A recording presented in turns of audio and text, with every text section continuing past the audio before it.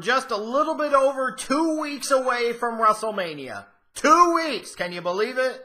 Yeah, not really. Probably hasn't even really dawned on you yet that WrestleMania is only about two weeks away.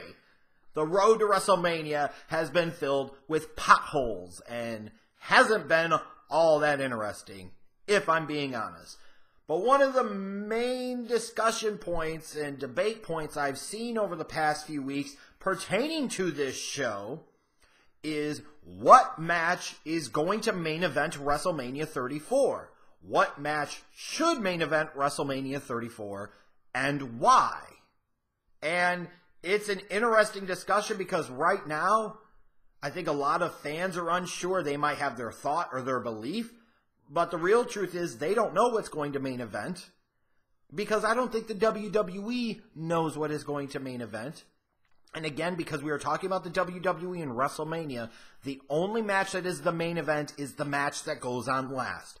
Any other spin you hear is just bull, period. So what is it?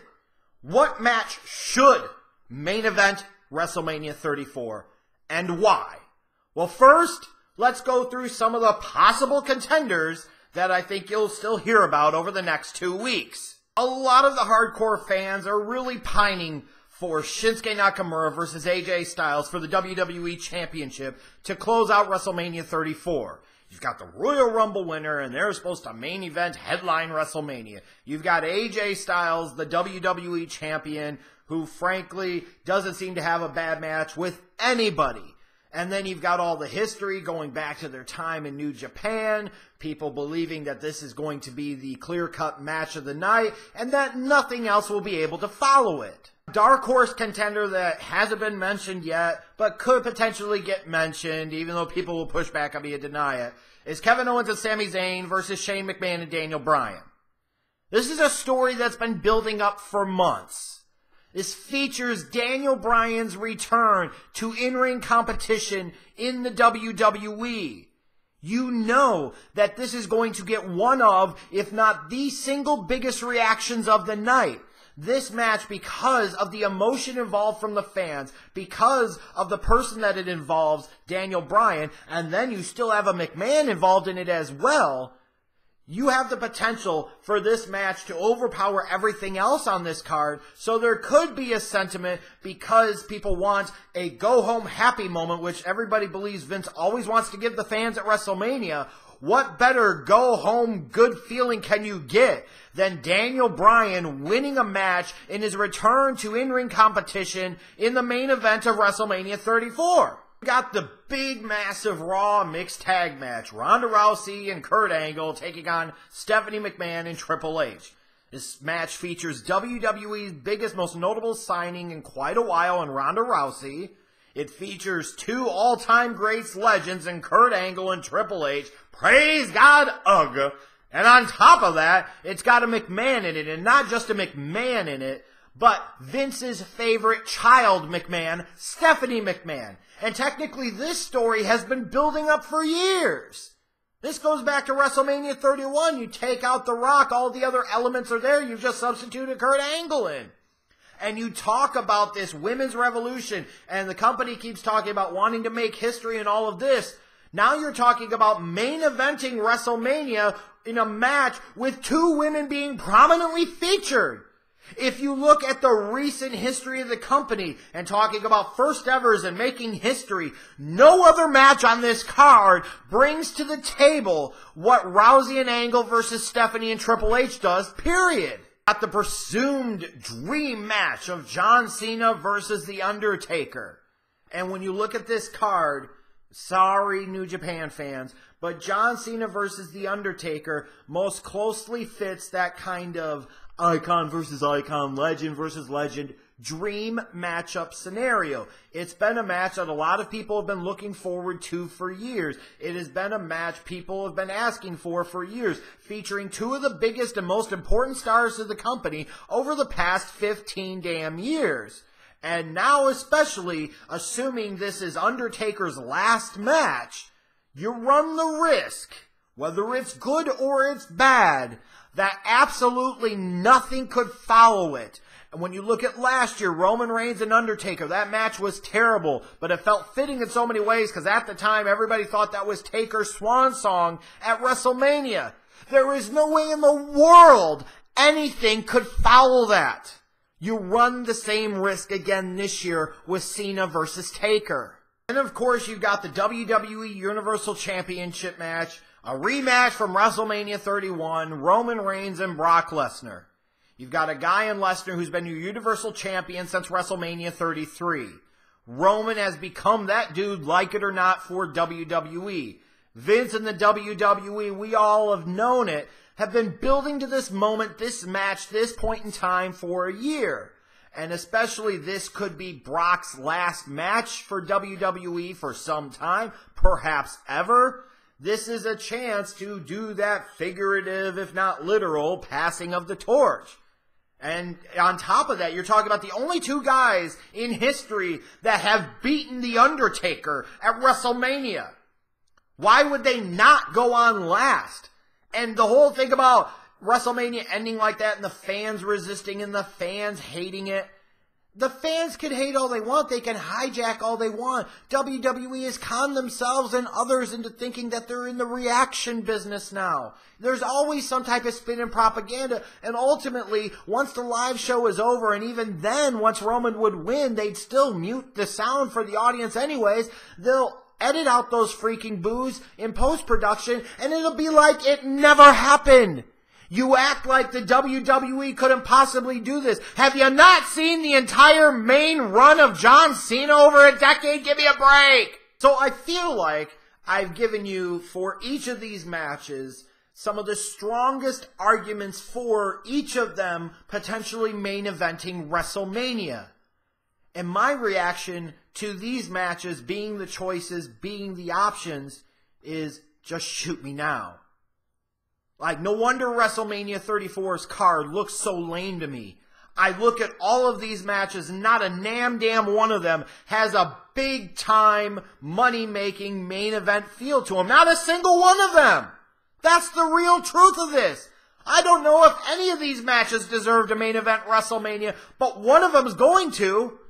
Just because it does main event doesn't mean it should main event, doesn't mean it deserved a main event. But again, frankly, I don't know that any of these should. I wish there was an option for something else legitimate, but this is the best that we have to choose from.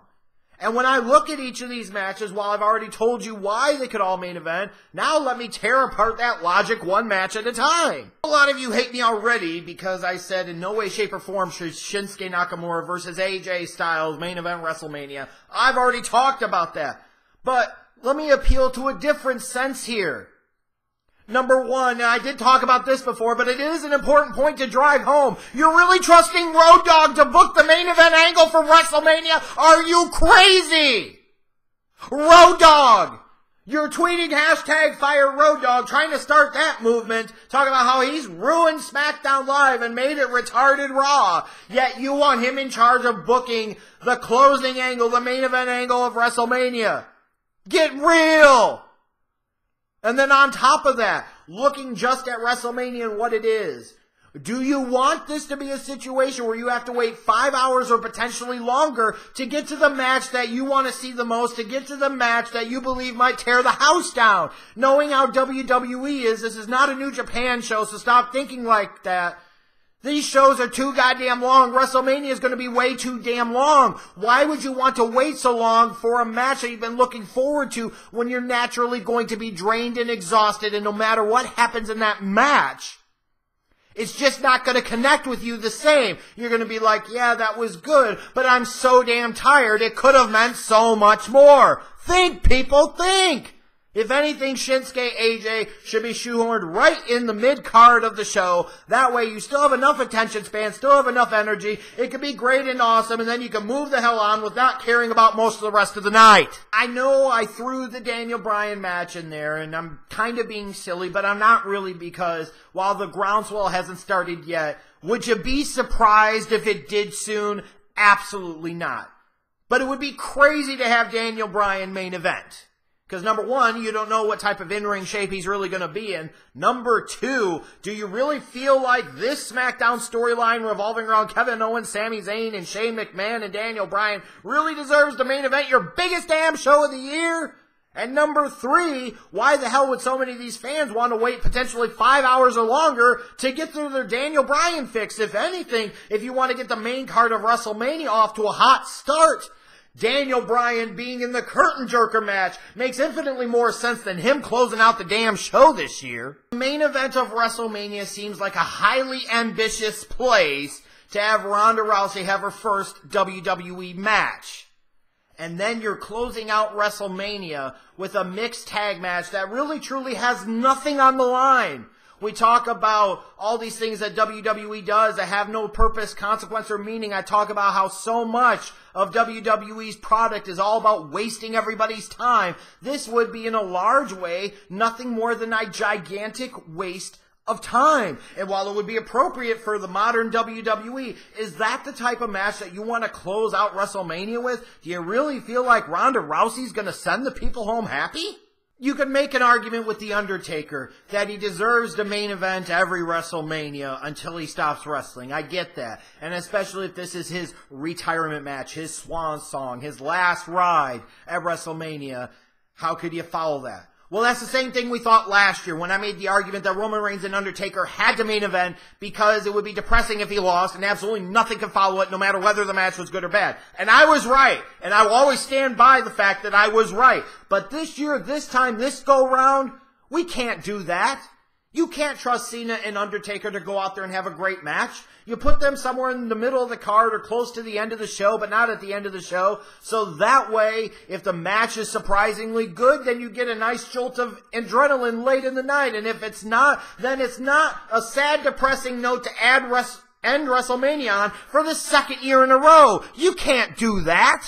Don't even get me started on the Universal Championship between Roman and Brock. We've been there, they've done that. And yes, they had a decent match at 31, but the reason, frankly, so many fans think that match was really good was only because Seth Rollins ended up cashing in. You don't have that out this time. You have to make a clear cut decision this time. It's predictable as shit. You know who's winning. You know how this is going down. I don't know about you, but I'm tired of WrestleMania and other big WWE shows ending in pathetically predictable patterns of behavior with the results that we all know are coming.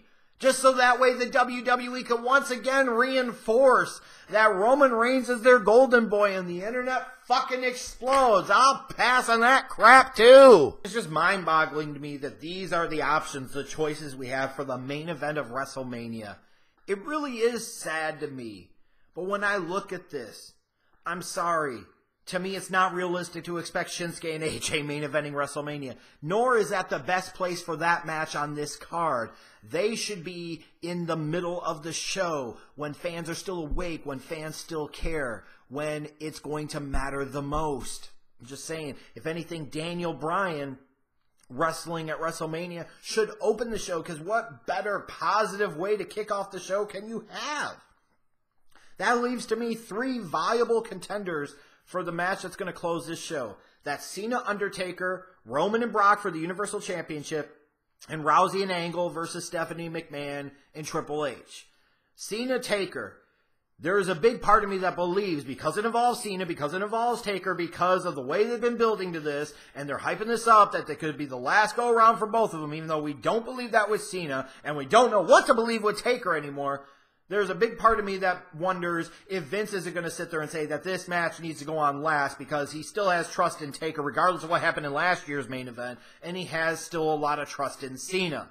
But to me, though, especially if you're going to have Taker lose and this match is going to sit there and have a depressing feel to it, it needs to go in the mid card and go right before Shinsuke and AJ. Use Shinsuke and AJ to bring the crowd back up. That would be a perfect place for them to crash dummy around and get the crowd back into it. As far as Roman versus Brock, yes, it features the guy that's been the guy versus the guy that is the big guy and all of this stuff. But I mean, while it doesn't matter because the WWE doesn't care what the people think, do you really want to go down this path and have that be the way you close out WrestleMania? There's obviously a very big chance that this is the match that ultimately closes the show, and WWE gets whatever they deserve. To me, the safest option, in large part because you're already going to be several damn hours into the show, and you throw all this other stuff out there, people are going to be cooked, they're going to be gassed, they're going to be exhausted. When you talk about the thing about making history and doing first evers and all of that, you've got two women in a featured match at WrestleMania I'd be stunned, especially with the blowback that came from naming that women's battle royal at WrestleMania the fabulous Moolah Memorial Battle Royal. I'd be really shocked if this match featuring WWE's most notable signing of some time in Ronda Rousey, two Hall of Famers in Angle and Triple H, and then the kid that Vince loves more in Stephanie McMahon. I'd be absolutely floored if this match didn't main event. This is going to be the match that gets the most mainstream press. This is going to be the match that's going to get the most attention out there on the internet. Not necessarily from the wrestling fans, but for what WWE is seeking, this is the match that brings the most to the table. There is still a trustability factor there with people like Triple H and Kurt Angle and Stephanie McMahon. Furthermore, when you're talking about making history, now you've got two women main eventing WrestleMania. I mean, it's like an SJW's dream come true, isn't it? Isn't it? The ladies are getting the same play. They could get the same pay. They're bringing home the bacon in the main event of WrestleMania. No, it's not ideal. No, it's not perfect. But from a business standpoint, it aligns with what WWE's been about recently. It also could help to make up for some of the recent missteps and it also gets them the most mainstream attention post WrestleMania 34. Is the WWE going to prefer everybody be talking about fans being pissed that Roman Reigns beat Brock Lesnar? Or would the WWE rather control the narrative by having people talk about Ronda Rousey, this big former UFC star, competed at WrestleMania last night in the main event? That's what Vince is going to be seeking. That's what Vince would want. So I think when all is said and done, I would actually be the most surprised if this match didn't main event. And for the fans that are there, you, how much do you really care about this match anyways? It makes more sense to send it on last. Don't sit there and wait five plus hours for Shinsuke AJ. Don't have Brock and Roman close out the show. That's the match. Because you can't have Cena Taker end it and have a second straight depressing WrestleMania ending the WWE, with all their first evers in history making that they'd love to talk about, this is one of the things that they could still do that makes history. It's got to be Rousey and Angle versus Stephanie and Triple H in the main event of WrestleMania 34. Am I wrong? Am I wrong? Let me know what you think, even though I'm sure it's going to be mostly Shinsuke and AJ in the comments. I want to hear what you think. What match should close WrestleMania and why? And more importantly, outside of the match that you choose, what would be the one other match you would be the most comfortable with ending WrestleMania 34 and why? Flame away with those keyboard fingers of fire in the comment section. Remember, I'm the Schleg Daddy. This is OTRSCentral, and as the t-shirt says, not the wrestling show you want, just the wrestling show you need. Unfortunately, I can't make the options for the main event of WrestleMania any better. I'm sorry.